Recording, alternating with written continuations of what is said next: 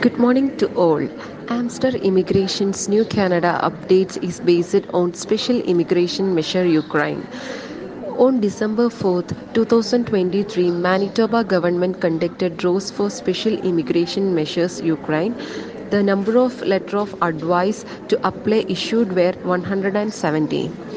As part of the Manitoba government response to the situation in Ukraine and in the line with immigration refugees and the Citizenships Canada special immigration measures for those affected, the Manitoba government provincial nominee program will conduct regular EOI draws for individuals who meet all the Manitoba eligibility criteria and are affected by ongoing events in Ukraine.